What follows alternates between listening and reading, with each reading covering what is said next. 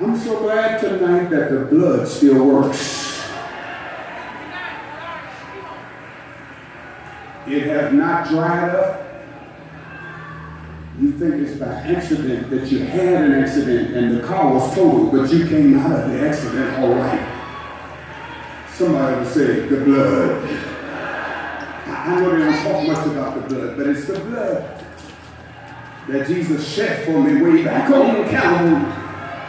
The blood that gives me strength from day to day. Don't push me, it's almost Sunday. It'll never lose its power. It reaches to the highest mountain and it flows to the lowest valley.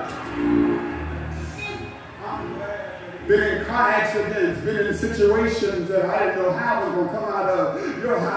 somebody's house was burned, but the blood covered you and your children. Anybody glad that the blood still works? Clap your hand